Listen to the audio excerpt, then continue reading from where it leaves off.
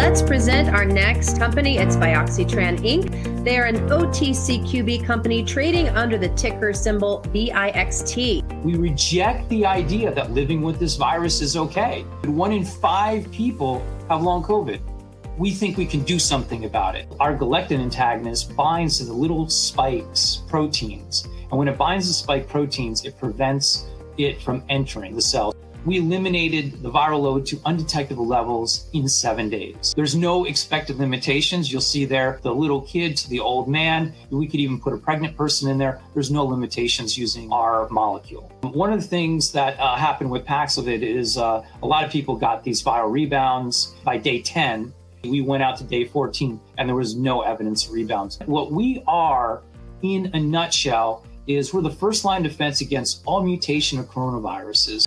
Are we really competing against Paxlovid and Molnupiravir and these guys? No, not really. We are in our own class. They're going after people with underlying medical conditions. We're taking everybody in our trial. It's a major sea change and a major way to look at things. We believe that we can get a label expansion and it's got a non toxic profile, so it's going to be treated favorably with the FDA. So, our goal is drug approval as soon as possible. Are these types of results normal? Is this too good to be true? These types of results we got, they're rare. And it's rare when you consider that there's probably been well over 10,000 clinical trials conducted over the past decade. Now, our results are in a preprint format.